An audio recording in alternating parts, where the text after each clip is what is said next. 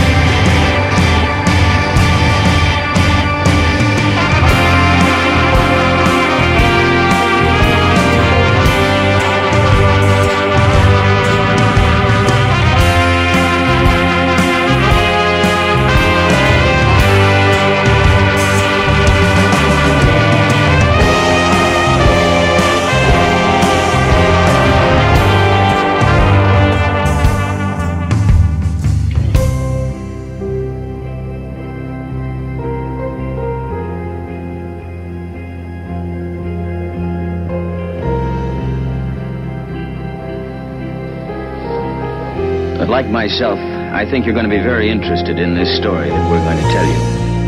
And in this age of missiles and man-made moons, it takes on added significance.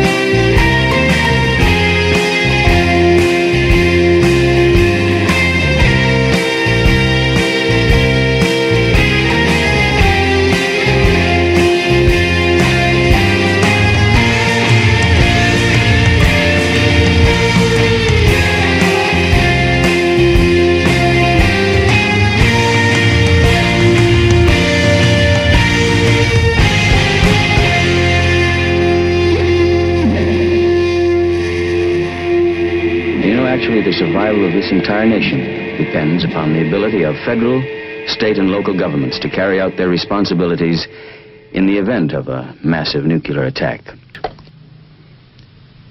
How about you?